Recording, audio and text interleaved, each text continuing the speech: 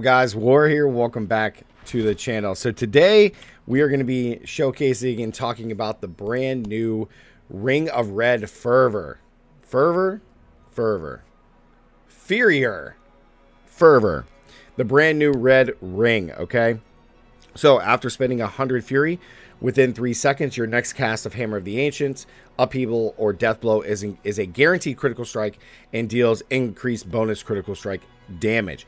So as if the HotA build or even upheaval was not strong enough this season, now this ring is going to make us even stronger, okay? Not only do we get the huge attack speed, but the strength, the max fury, and the resource gen is absolutely nuts.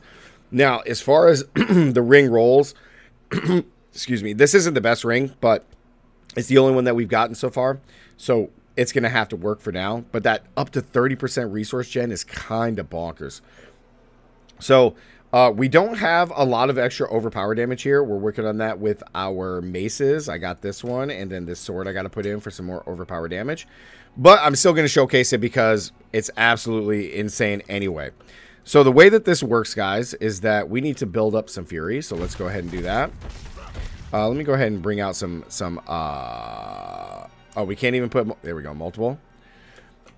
So let's get our Fury up. Okay, so the way that this works is you're going to use your attack, right? And we spend a 100 Fury. So now when you see the symbol come up, right? Now it'll tell you your next Hammer of the Ancients Upheaval or Death Blow is guaranteed to critically strike and has increased damage. Okay? So what's cool about that is like now I can just spam this, get my Fury up, right? And now we're going to showcase how much damage we do. Alright, so let's go ahead and pop up everything, right? Oh, I should probably make them vulnerable, huh? That was 17 million. Again, guys, I don't even have this, uh, like, insanely max. I'm only 89, and I don't even have everything leveled up to the max that I could. So, let's try again. Alright, we got our bonus back. Let's get our essence up. All right, dash through. Bam. Just insane damage, man. Insane damage. I'm only 89. It's nuts. 23 million. So I think at this point on the build right now, I'm averaging like at the highest end around 20 to 30 million, which is nothing in comparison to what you can do when you get everything fully decked out.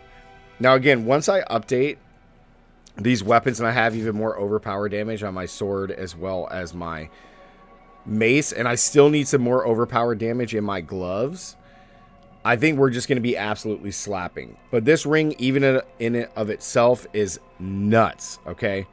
Now, if you don't have this ring, that's okay. We're still rocking Echoing Fury, and then we have a ring slot here for Bold Chieftains whenever we end up getting it, which is this ring here. We don't have Bold Chieftains. We're still looking. But this is the ring with the, the stats that you would want on it. But once you have the ring, it's nuts. So, I'll have a build guide for this build out soon. But you can see that we just... It's nuts, man. How much damage you're dealing. I mean, look at all the millions. And, again, guys, this is baby damage. This is baby damage in comparison to what you can do on the higher ends when you start to get towards level 100 you have all your glyphs leveled up etc so i'll have a build guide for this uh, shortly once we get the build all set. That way i can properly showcase it for you guys. But man oh man 19 million. I mean it's it's nothing.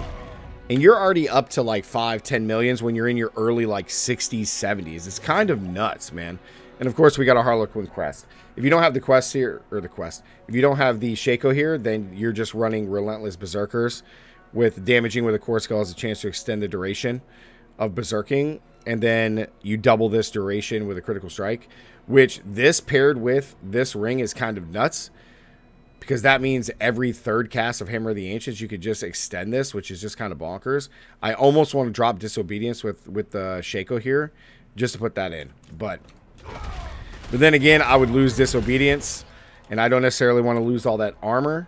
But uh, yeah, the new ring, guys, these new rings, the malignant rings, are just absolutely insane. So like the video, comment down below. Let me know what you guys think about my small, small baby barbarian damage in comparison uh, to some of the higher end builds. I just wanted to showcase this because even at the lower levels and stuff, like you just absolutely slap.